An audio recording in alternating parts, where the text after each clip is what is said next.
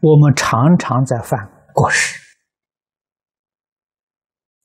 对自己修行造成重大的障碍，就是连佛法里面的易行道、念佛求生净土都被他障碍住了，恶业障碍住了。啊，念佛不能往生，这个道理要懂。佛在这个。三部经上都讲得很清楚，西方极乐世界是诸上善人聚会一处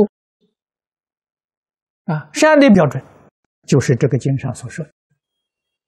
我们佛念的再好，念的再多，我们不是善人，所以极乐世界去不了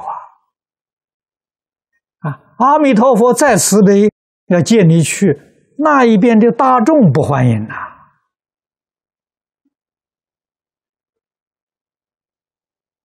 啊，都是善人，你这个不善人在里面，那人家怎么能容纳你呢？